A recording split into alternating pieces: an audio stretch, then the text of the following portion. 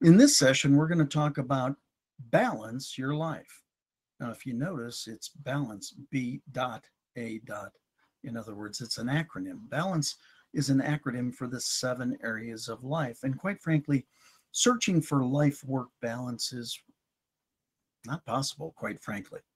There's nothing worse than a multitasker because what you really find is if you are doing multiple things all at the same time, you're quite frankly not doing any of them very well. In order to truly gain more balance in your life, you actually have to be purposefully imbalanced.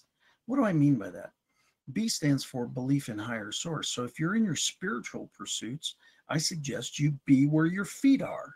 In other words, if you're in your spiritual pursuits, be 100% in your spiritual pursuits and then come back to center.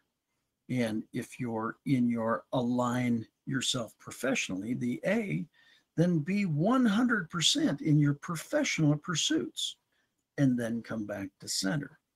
Again, to tr- achieve far more balance in your life, you actually have to be imbalanced for a period of time. Be where your feet are, be totally present in that activity. And when you do that, then you can come back to the center. So if there's ever a time that you have a question or want to learn more, go to scott at theauthenticconnector.com and send me an email, or you can go to hub.theauthenticconnector.com to learn more. Until we meet next time, thanks for joining me. Have a fabulous day. God bless.